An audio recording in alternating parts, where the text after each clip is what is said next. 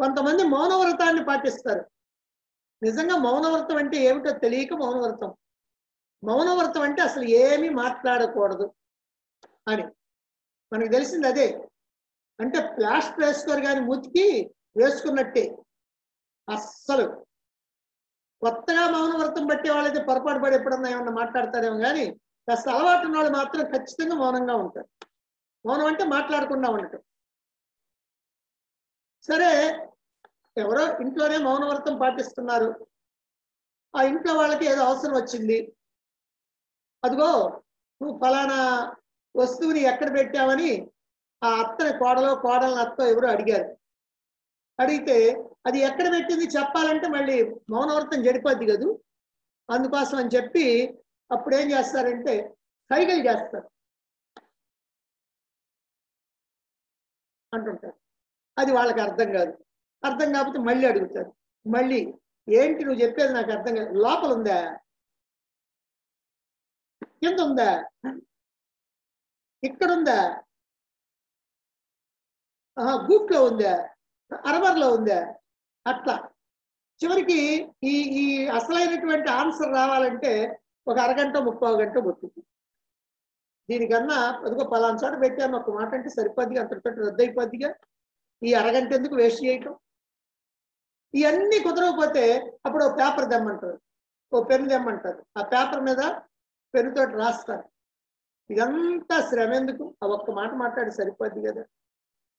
మౌనం అని అంటే పరమాత్మని గురించినటువంటి చింతన చేయటానికి చేసేటువంటి ప్రయత్నం మౌనం. ఈ మౌనానికి భంగం కలగకుండా చూసుకోవాలి. అందువల్ల ఏదైనా చిన్న చిన్న అవసరం కనుక వస్తే దాన్ని మాట్లాడవచ్చు అంతే తప్ప అసలు బిగించుకొని ఫ్లాష్ వేసుకున్నట్టుగా కూర్చుంటే దానివల్ల ఏం ప్రయోజనం లేదు. అందుకని వాళ్ళు మోగనం పాటించినా పెద్దగా ప్రయోజనం ఎందుకంటే పేరుకి మోగనం అనే కానీ మోగ మౌనం అంటే అవి ఏం మాట్లాడకుండా గొప్ప అనుకుంటున్నారు కానీ భగవంతుణ్ణి స్మరించాలా అనేటువంటి విషయం మాత్రం వాళ్ళకి తెలియదు. అందుకని ప్రాపంచిక విషయాల వ్యవహారంలోనే ఉంటారు ఇప్పుడు కూడా. ఎందుకని? వాళ్ళు ఏదో అడుగుతుంటారు వీళ్ళు ఏదో చెబుతుంటారు. నోటితోటి కాకుండా సైకిల్ తోటి. వీళ్ళు అయిపోయిన తర్వాత ఇంకోటి అది అయిపోయిన తర్వాత ఇంకోటి. రోజంతా ఇదే. అదే మౌనం. అంటే మౌనం అంటే ఏందనంటే మౌనం చేయకుండా ఉండటం. మౌనం లేకుండా ఉండటం. కనుక అలా ఉండకూడదు. నిజమైనటువంటి మౌనం ఏమిటంటే మాట్లాడకుండా ఉండటం కాదు. భగవంతుణ్ణి స్మరిస్తూ స్మరిస్తూ స్మరిస్తూ అవసరమైనటువంటి ఒకటి రెండు మాటలు మాట్లాడు.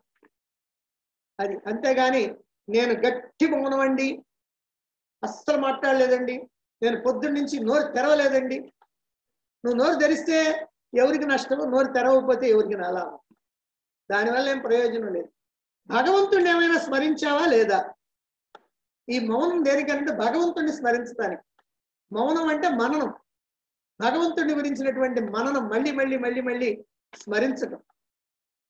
కాబట్టి అది